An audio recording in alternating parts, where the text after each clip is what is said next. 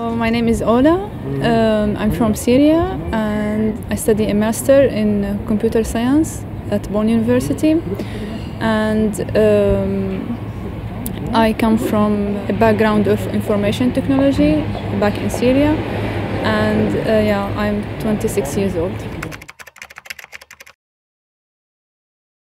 The most necessary one was for me is uh, the one that I looked for master opportunities in uh, German university universities uh, and I used the DAAD scholarship uh, search.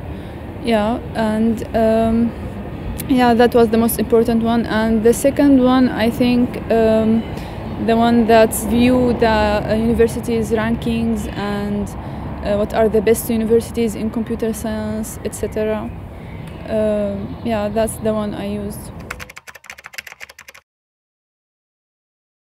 I think the most uh, that they need is the one that um, tells them what are the regulations in German and what are uh, like policies and um, rules, how to look for a job, uh, how to, um, if they want to finish their studies, uh, how to find the suitable university for them, how to find the suitable program for them, the apps for learning language, that's the most important one.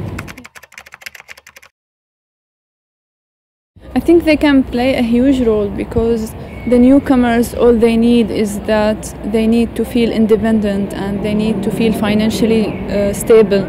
So uh, using solutions uh, that support their academic level or their uh, or, or they're looking for they're finding a job or uh, their job hunting um, I think it will be a huge uh, it will play a huge role in the integration The most suitable way is to um, add certain courses that form the basic computer skills that they need to start learning uh, the, the skills that they, they really need for applying for a job. Add, adding these basic courses are like the priority in our project and then the more advanced courses in programming and etc. if you work if you if you are good at what you at you at what you do it's it doesn't matter for a company if you are a male or female. Because if you are good like you get the job done. So why should they do, look for another person for that? Yeah. That's i mean i have only one year and a half as work experience back in syria and it, it was good. Yeah. Hopefully it will be good also in germany